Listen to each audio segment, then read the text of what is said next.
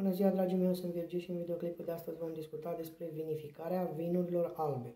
Vinificarea vinurilor albe diferă de a vinurilor roșii prin aceea că fermentarea mustului se face, nu se face împreună cu ciorchinii, pielița și sâmbur. Deci înainte de fermentare are loc separarea completă a ciorchinilor, pieliților și sâmburilor.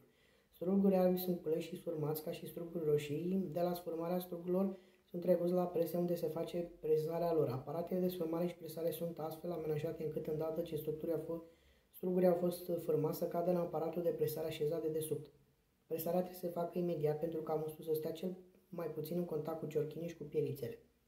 Mustul de la prese conține o mulțime de impurități, pielice, ciorchini, substanțe străine, de care trebuie să fie separat. Aceste separații poate face prin colare, tratarea mustului cu albumină, gelatină, caolină și apoi prin filtrare, fie prin site metalice, fie prin turbinare, fie prin limpezire naturală, Limpezirea naturală se obține lăsând mustul în repaus un timp de, care variază de la 6 la 24 de ore.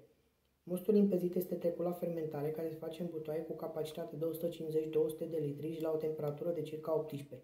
Din cauza temperaturii scăzute, fermentarea durează 2-3 săptămâni. Fermentarea tumultoasă terminată se mai lasă butoiul deschis încă vreo 8 zile, pe care se astupă cu un dop astfel făcut ca bioxid de carbon să iasă cu oprind în schimb intrarea aerului. După 15-20 de zile, fermentarea secundară este terminată, iar vinul este trecut în butoaie așezate într-o pivniță cu temperatură sub 4. Sub acțiunea frigului, într-un timp care variază de la 3-4, vinul alb se limpezește din punerea bitatatului de potasiu, a droștii, precum și altor substanțe care se găsesc în suspensie.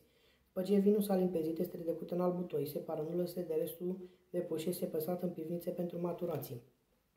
Stimă și respect față de persoane care mă videoclipurile. Eu sunt Virgil, Vă salut și vă doresc o zi mai frumoasă. Ne vedem data viitoare în un videoclip.